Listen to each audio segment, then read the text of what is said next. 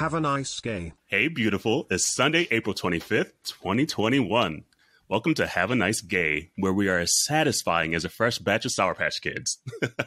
I'm Carell from podcast Minority Report, and I'm here with my good friend Kyle from the podcast Gayish. How's it going? Hey, girl. Good. Um, I want to tell you about someone I just learned about, about the world's first trans billionaire.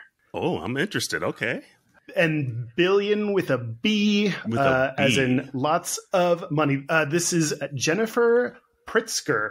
Um, I just learned about her because, unfortunately, there are a lot of anti-LGBT, anti-trans bills going on in Tennessee right now, and she threatened Mm. to move her company out of Tennessee if some of those bills passed. So, you know, one, I I, I like hearing about someone like a trans billionaire because it's like there's money at stake here. Not that that's why you should do this, Absolutely. uh, so a little bit about her. She um, is actually a retired U.S. Army lieutenant colonel. Uh, now she's an investor and activist. She is worth two billion. Her her family uh, s- uh, started among other companies the Hyatt Hotels. Um, so she started the Tawani Enterprises, which uh, aims to take uh, money, inherited wealth, and turn it into something beneficial. So, in addition to investing in the regular investments, uh, they also invest in things like nonprofits, education, support for veterans. So, she's trying to ch- take the wealth that she has inherited and turn it something good.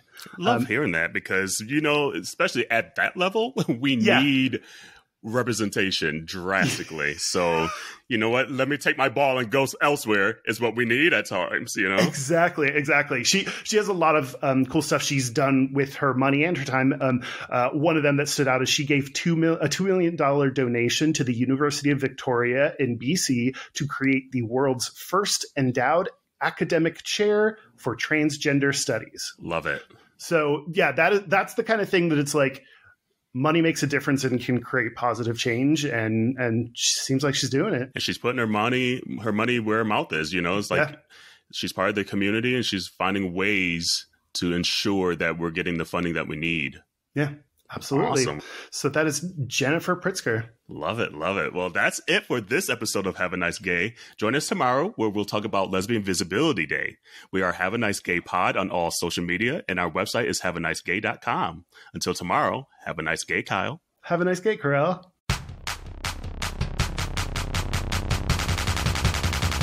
Have a nice gay.